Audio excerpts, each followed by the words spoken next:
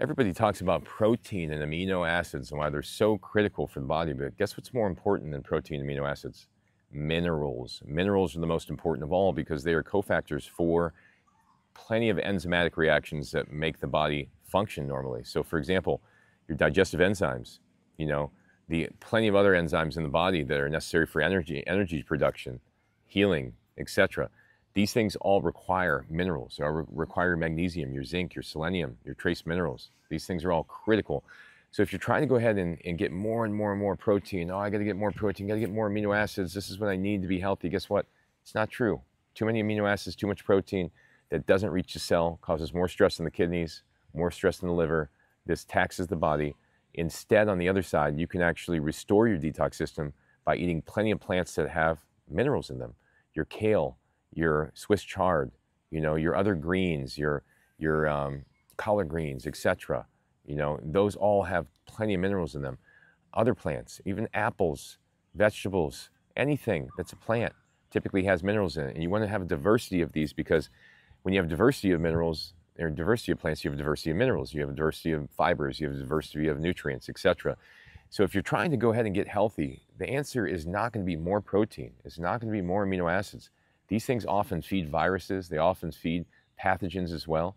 If you want to be able to get healthy, you got to get more fiber, more minerals. So how do you get your minerals? How do you get healthy from minerals, right?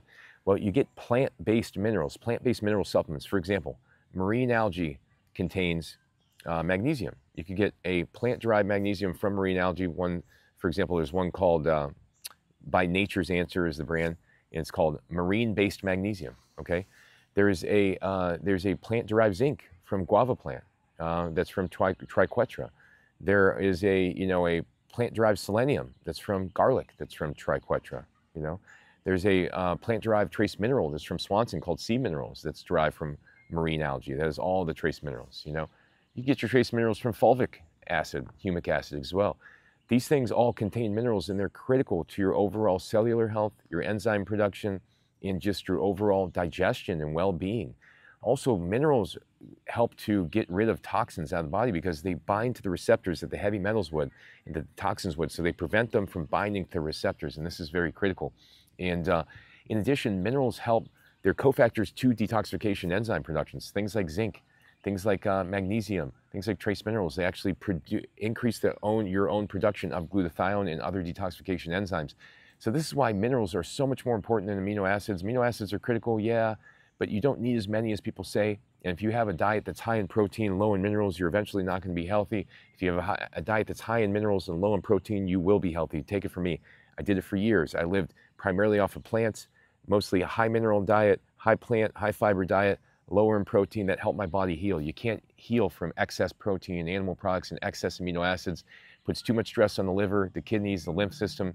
You got to get the minerals to get your natural detox flowing right and alkalize your body because that's what the minerals do is they alkalize your body. They keep it from being too acidic. While on the other hand, if you got protein you're consuming all the time and too many amino acids, they over acidify the body and this causes problems. So thanks for watching everybody. Go to my website endsickness.org. I get hundreds of articles, hundreds of videos on there teaching you how to heal yourself.